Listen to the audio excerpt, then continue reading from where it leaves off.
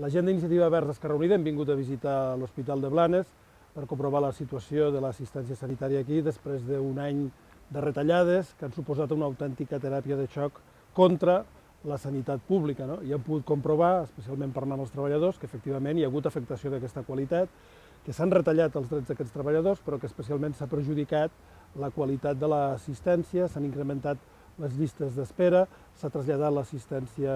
ginecològica i això ha estat especialment greu ara, aquests dies, que hi ha hagut una epidèmia de grip, no? amb gent als passadissos, eh, amb gent atesa eh, amb cadires de rodes, amb gent moltíssimes hores i fins i tot dies en els boxos d'urgències, i per tant és una situació que nosaltres volem denunciar i que exigim al Departament de Salut i al conseller Boi Ruiz que posi fi a aquesta situació d'atac sistemàtic a la sanitat pública.